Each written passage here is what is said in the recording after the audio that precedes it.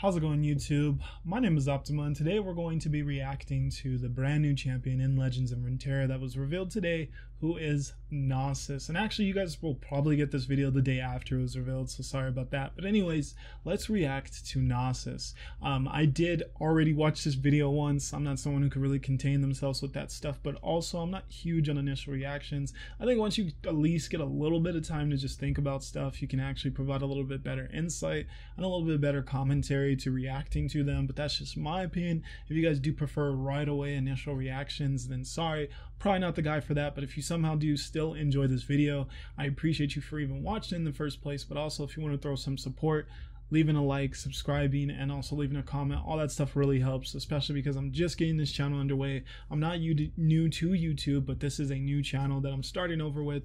And um, yeah, I'm excited to hopefully make my way in the Legends of Runeterra community. So if you feel like supporting me, if you're a huge fan of Legends of Runeterra, there'll be a ton of content coming your way on this channel, especially as soon as we get this new expansion on March 3rd.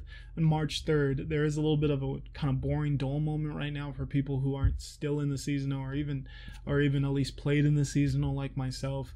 Um, it's kind of a little dull right now in Legends of Runeterra, so that's why videos only have like one video on my channel, excluding this one. But things are on the way, especially with a new uh, expansion on the way. Just loads of content. I couldn't be more excited to get that started.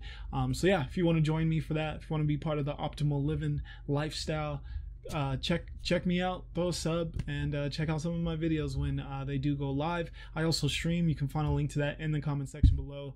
Oh no, I'm sorry, I just hit my mic. That was probably so loud for you guys. But yes, I also stream. You can find a link to my uh, Twitch channel in the comment section below. If you want to support me over there, that would also mean a lot because things are just getting underway over there. And I do stream more than just Legend of Runeterra. I stream Pokemon and uh, actually Sea of Thieves over there. So if you want to come be a pirate with me, that would be fun. Um, but mainly Legends of Runeterra. That is the game I'm trying to focus most of my content on because I have a lot of faith in this game, um, and I want to be a part of uh, its rise because I think it I think it should happen, but we'll see. Um, but yeah, let's uh let's get to this reveal. I know that that's what you guys came here for. Um, but last thing, you can also check out the the uh, description of this video if you want to also check out my Discord. It's kind of in a rough place. Need a make it more professional. But if you want to be a part of it, come check it out. We'll get there eventually. All, all good things take time, you know. But let's get to Nasus. I'm so excited for this. I'm someone who doesn't come with a League of Legends background, so these champions, when I generally see them, it's my first experience with them. I know a few League of Legends champions, but it still was so bare bones how much I got into League of Legends that most of everything feels new to me in Legends of Runeterra, what still makes everything so much fun. So yeah, let's hop into it. So Nasus demands the ultimate what? The ultimate what? The ultimate sacrifice. Okay. So anyways, we get a brand new keyword here. We get slay as a brand new keyword and slay is you get credit for slaying an ally or enemy if one of your cards kills it via damage, strike, or direct kill effect. So that sounds pretty good to me. That sounds really, really solid. Um, yeah, um, I, I think because you can slay your own units, that gives you a lot of freedom in exactly how you can help Nasus get this level up, or at least get the plus one plus one from the slay. That gives you a lot of variety in that. It sounds really good with Shadow Isles right off the bat. That's the immediate thing that came in my mind was like, oh my god, Last Breath Shadow Isle units and Shark Chariot would love that. Um, so yeah, I like the idea of that. Um, obviously, though, it seems like most of all of these uh, Shurima champions are going to want to play the Sun Disc because that's the card that's pretty much seems it needs to be used to allow them to level up the third time to get to that final level of Ascendant.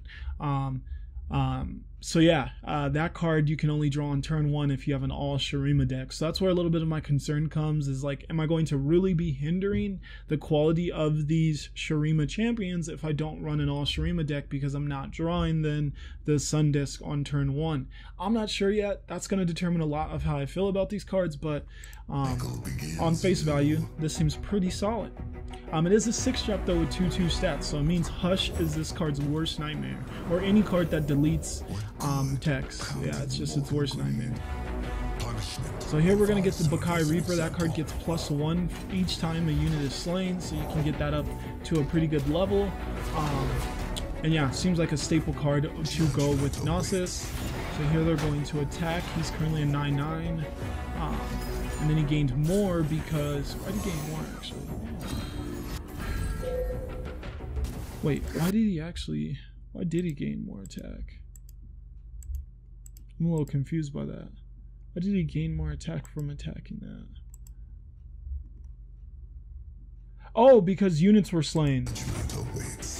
Oh, those two units died, and then, yes, I'm sorry. Not paying attention here. Yes, units were slain. So, he was just over there gaining attack. So you always want to attack with, it seems like you almost always want to attack when Nasus last, so he can see everything get slain, if anything's going to get slain before him. Um, now we get this card, though, and this is apparently his champion uh, spell.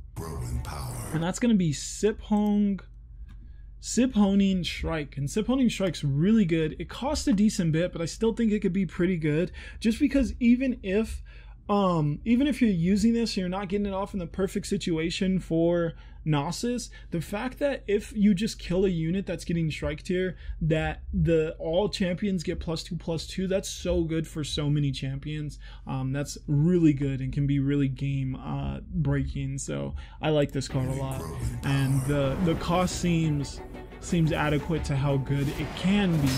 Um, I feel like it may feel underwhelming in a decent bit of situations, but it seems also like it could be really good in an ideal situation. There, though, they did use that card. They strike the Tahm Kench. Oh, we needed to pause. So they used that card, the Siphoning Strike. They strike the Tahm Kench they it died so they they get the level up because they're striking with 10 but then they also get the plus 2 plus 2 because it died. All champions will get plus 2 plus 2 now we get the first level of ascendant Nasus now it still has the plus 1 plus 1 for each card that's slain but now also each enemy is going to have minus 1 so it's going to allow fearsome to become a little bit more um, crucial and it gets spell shield. That's honestly the biggest to me because the fact it gets spell shield. Spell shield on champions Spell Shield on Champions is anything and everything. Champions getting Spell Shield is so, so good because champions already have inherent skills that allow them to do really good things in the game. And then they generally have another keyword. So then when you add that Spell Shield on, and they just are able to do so much. And having to waste a card to get rid of the Spell Shield, you can generally waste such a strong card. So it's just really, really nice. Um, wait, does that put roaches on them? Uh, that puts those little fly things on them? Oh, I hate the way that looks. It almost looks like little roaches. I hate the way that looks. Um, but they get to attack with an extremely strong unit now. It also has spell shield. Um, and then now the sun disc has finished off the countdown 25. So, oh, that, even that animation is so clean of the sun disc on your side. That's so clean. I didn't even notice that the first time I watched. That is so clean. Let's look at that again. That is so clean, bro. The way the sun disc pulls up for your nexus, when you when you count it down, oh my god, oh my god, I'm gonna love this. I'm going to love this. That's beautiful, but alright, we do see that final level of Ascendant for Nasus, and now we got the plus one, plus one, but now it's a minus three, and that becomes super crucial with Fearsome. And yeah, that just sounds so good for Renekton, um, so I can definitely see these two being used together, because um, that seems really, really good for Renekton in my opinion. Everything that Nasus does seems good for Renekton, and then the fact that Nasus is doing all this kind of messing up your opponent's uh, strength on their board, um, um, while having spell shield as soon as it's leveled up. So um yeah it makes it even harder to like get it off the field and not allow it to be giving everything minus one or giving everything minus three once it's fully ascendant. Um so yeah it seems pretty good. There's some really good cards that allow you to level up an ascendant like all level two ascendants are now level three. Like there's some good cards for that. So it makes me think that this card should be able to be viable because of the support cards that these ascendant champions seem to have uh, or these ascend champions seem to have. Um I love the idea of this with Shadow Isles, but I think that it may honestly be at its best in a Renekton all Shurima deck, just because I feel like it works so well with Renekton.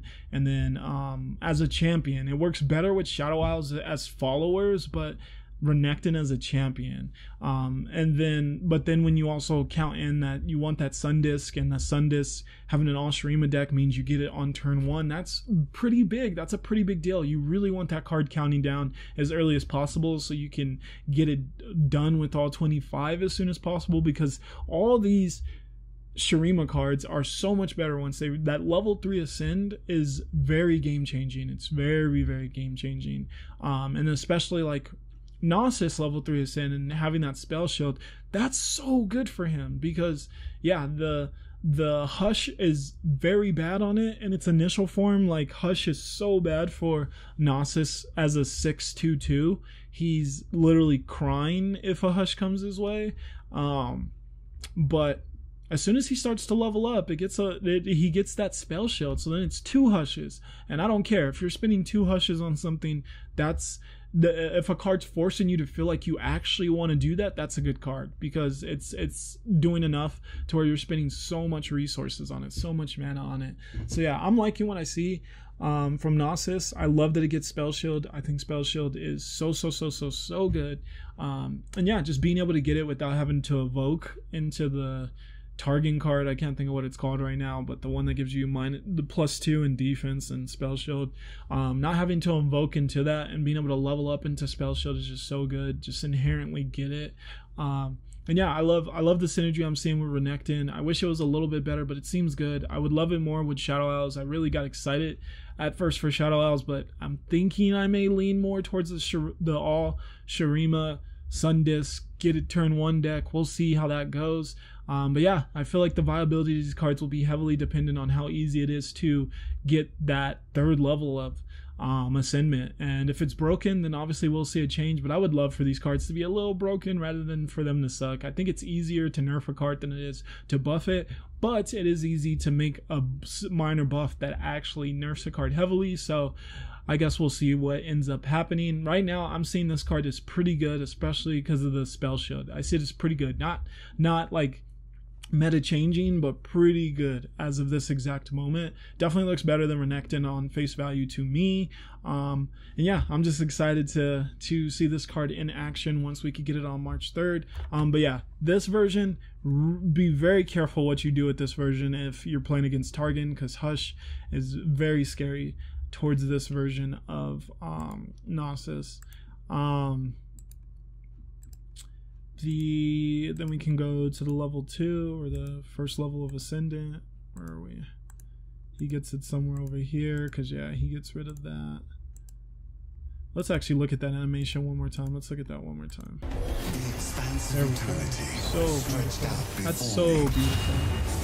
And there we go. Uh, and yeah, here, yeah, still so vulnerable to Hush. It's just that last time when you get that last level where Hush isn't as scary. Because yeah, this card is still just begging to be Hush, which it, it's obvious they did that to nerf one the how many cards get slain. Like it needs to have bad stats, but also because it also has Spell Shield. So if you somehow are able to to get that card hushed, yeah, it needs to be uh, it needs to do something. But yeah, once you reach this level, then it doesn't matter at all. So yeah, that's where just a lot of this is going to be determined. Can we level up these Shurima cards easily or consistently to this third level of Ascendant? If we can, they're going to be broken. These decks are going to be crazy. If not, I have a little concern, especially with cards like Renekton that really have to be engaging in combat, um, in my opinion, to really be leveling up. Um, but his spell allows Renekton to not as much have to engage in combat, and that's where I just see such good synergy with uh, um, Nasus and Renekton. So yeah, we'll, we'll we'll see what exactly ends up working. I think this card looks pretty good. I'm excited for it. This is definitely going to probably be the card I first build a deck with. Then maybe the Lissandra card. But uh, yeah, we'll have to see. But Nasus is looking pretty scary and pretty fun to use upcoming in Legends of Runeterra. I have so much faith in this game. They just do so much right. Thank you so much, Riot. I feel blessed. Thank you guys for watching once again. If you want to show me some extra love, if you enjoyed my commentary this video, if you want to see more content from me, make sure to go down in the description. Um, I mean, make sure to go down and subscribe, hit the little bell so you can get the notification, and then go down in the description if you want to follow me over on Twitch for more uh, live content. And then you can also check out the Discord if you want to just chill, kick back, have some conversations with me, maybe even play some games with me because I love to hang out with people who support me and who are chill people. But, anyways, this is Optima. I'm going to be signing out. Thank you guys for your time. I hope you guys are as excited as I am for this Shurima expansion. Yeah, things are getting exciting and lots of content's on the way. Let's let's uh let's make some let's make some fun moments. Let's have some good times with these new cards. I can't wait for all the fun we're about to have. But yeah peace out